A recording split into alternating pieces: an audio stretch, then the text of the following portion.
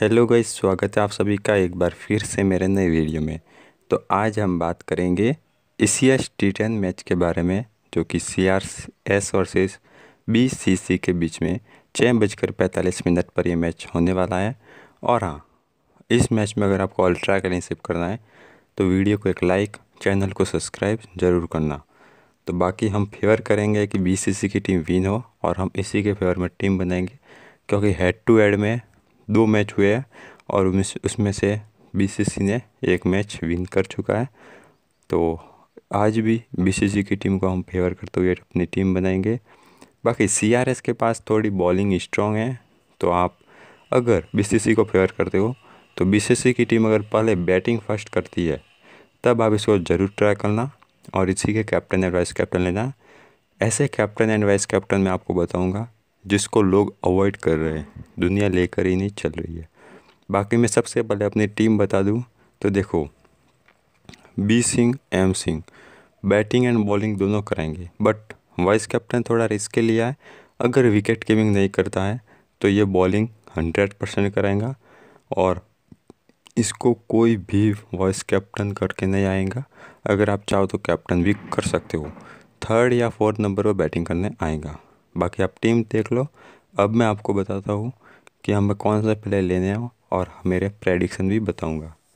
तो देखो गाइज़ सबसे पहले विकेट कीपिंग सेक्शन से एम सिंह जिसके बारे में मैंने आपको पहले ही बता दिया। अगर विकेट कीपिंग नहीं करता है तो बॉलिंग कराना आएगा।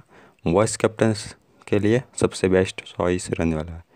तो हमें कैसा पता चलेगा कि विकेट कीपिंग नहीं करेगा? तो वो मैं आपको टेलीग्राम पर बता दूँगा।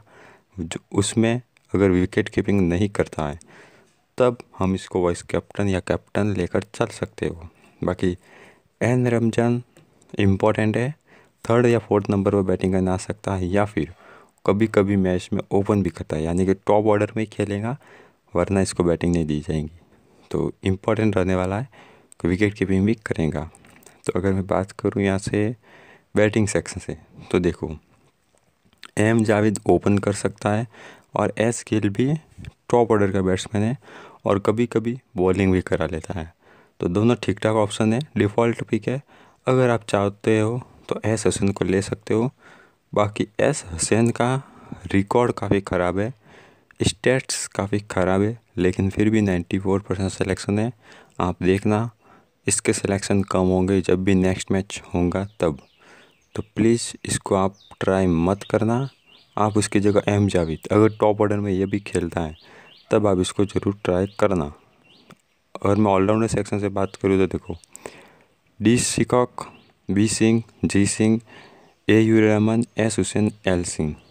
ये सभी प्लेयर डिफ़ॉल्ट है, लेकिन मैं अपना ट्रंप पिक बताऊँ तो एल सिंह, जो कि डेथ ओवर में बॉलिंग कराने आएगा।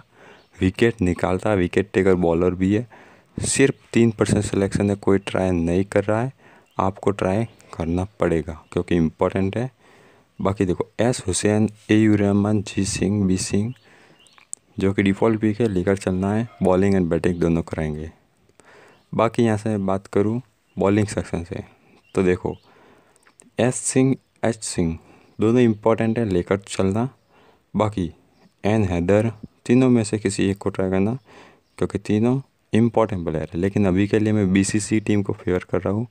अगर बी की टीम पहले बैटिंग करती है तो ये टीम मेरी फाइनल टीम होगी।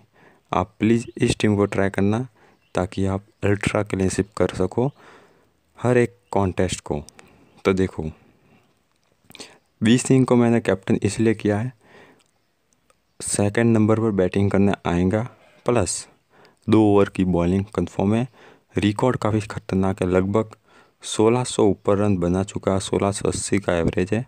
सॉरी, सोलह सौ अस्सी रन बना चुका है तो इम्पोर्टेंट है लेकर चलना, क्योंकि बैटिंग एंड बॉलिंग दोनों स्ट्रॉन्ग है इसकी।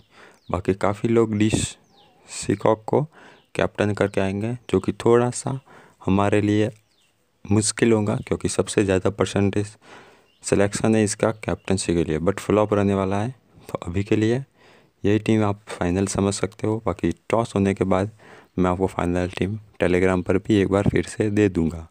तो अभी मिलते हैं नेक्स्ट वीडियो में।